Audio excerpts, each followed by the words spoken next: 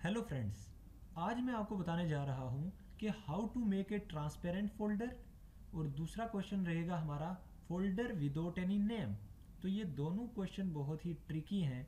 आपको बहुत कुछ सीखने को मिलेगा इसमें कि भाई कैसे हम ट्रांसपेरेंट फोल्डर क्रिएट कर सकते हैं। ट्रांसपेरेंट का मतलब ये हुआ, ये देखो, यहाँ पर मैंने एक ट्रांसपेरेंट फोल्डर क्रिएट करके रखा है। तो इसको मैं ओपन कर सकता हूँ। बट ये किसी को दिख नहीं रहा है। जब यहाँ पर कर्सर आएगा, तभी किसी को पता चलेगा।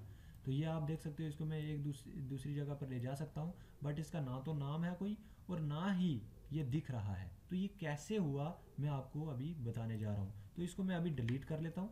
डिलीट करने के बाद मैं क्या कर रहा हूँ, एक नया फोल्डर जनरेट कर रहा हूँ। तो आप देखते रहिएगा। यहाँ पर न्यू पे मैं गया। यहाँ फोल्डर पे क्लिक किया। और ये मेरे पास न्यू फोल्डर अभी आपको दिख रहा है बट मैं इसको क्या करने जा रहा हूँ? सबसे पहले मुझे क्या करना है? यहाँ पर क्या लिखना है? Alt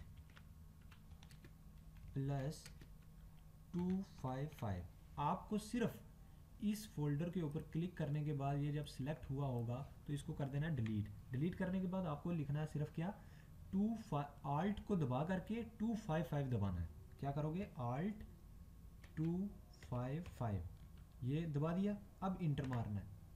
अब मैंने इंटर मार दिया तो ये आपके सामने दिख रहा है आपको एक ऐसा फोल्डर जिसका, जो जिसका कोई भी नाम नहीं है अभी, ठीक है? अब इसको हम ट्रांसपेरेंट बनाएँगे। तो कैसे हम ट्रांसपेरेंट बनाएँगे? सबसे पहले हम इसके ऊपर राइट क्लिक करेंगे प्रॉपर्टीज़ के ऊपर जाएँगे।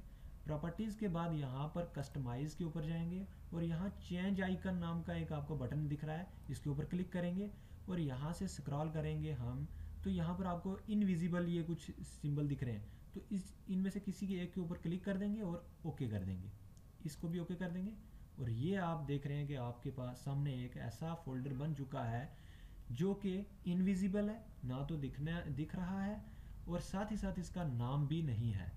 तो ये था हमारा आज का टॉपिक तो मुझे लगता है कि आपको ये काफ़ी अच्छा लगा होगा। अगर अच्छा लगा है तो आप इसको लाइक करें इस वीडियो को। और शेयर करें और साथ ही साथ सब्सक्राइब करना मत भूलें।